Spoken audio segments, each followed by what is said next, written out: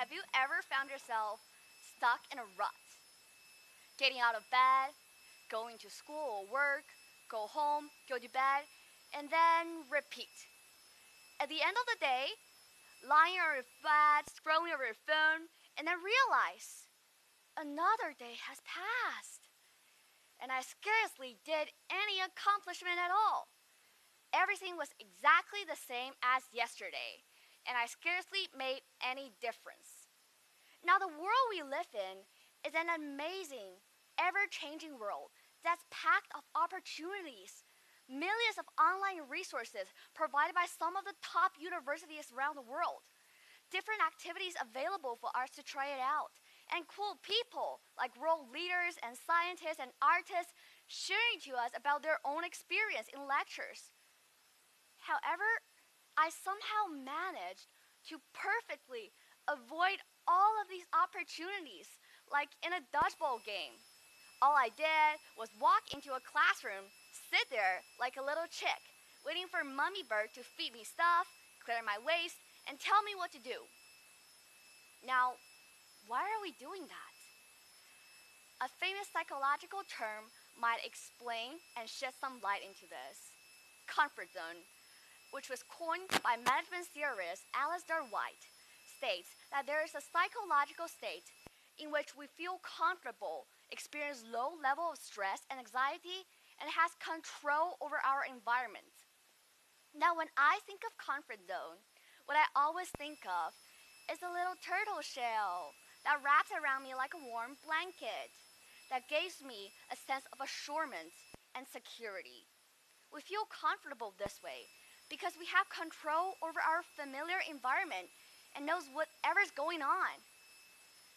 This feels natural to us because human instinct is to pursue comfort and happiness, which makes it really hard to give up, even if we say we wanted to.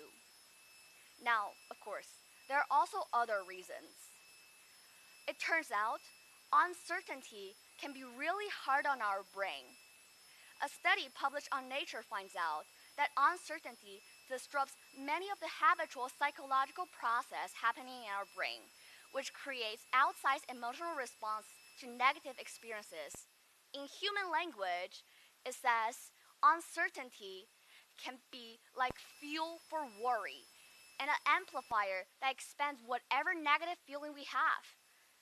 Trying new things can be very scary, and sometimes it's just easier to stay put and avoid trying altogether. Of course, there are also the case in which we can be simply oblivious of the fact that there's a whole new field out there waiting for us to explore. The famous Greek philosopher Socrates once proposed a theory, the allegory of the cave, which describes a group of people that has lived their whole lives chained against the wall of a cave. Now, these people, they have lived their whole life in that cave, so they've never walked out. They're simply unaware of the entire world out there. For them, the cave is the entire world. The world we live in is such a diverse place that no matter how large we expand our consciousness, there are always something new out of our reach that is waiting for us to explore. So I suggest we make a change to reintroduce new experiences and embrace changes because we have to come to an understanding to those obstacles that are blocking us from becoming the best of ourselves and grow out of it. Thank you.